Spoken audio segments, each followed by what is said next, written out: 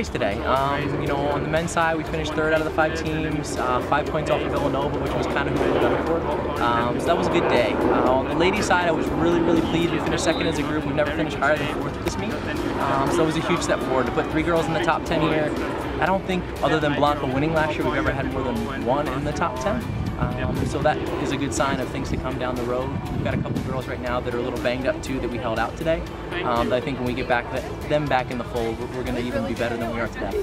We've been working out like this week as if, as, as if there wouldn't be a, competition. So um, yeah, I really feel like a bit tired. Legs were a bit tired, tight. But I think uh, that the race was really. I'm, I'm satisfied with the race. It felt really good because I train with Grace all the time and Millie, and I feel like we work really good as a pack. So it's good to have them to run with. It feels more comfortable. Yeah. Racking on a lot of miles, like 65, 70 miles a week, like two times as more as last year. And I feel like when championship season comes around and we dial back a little bit,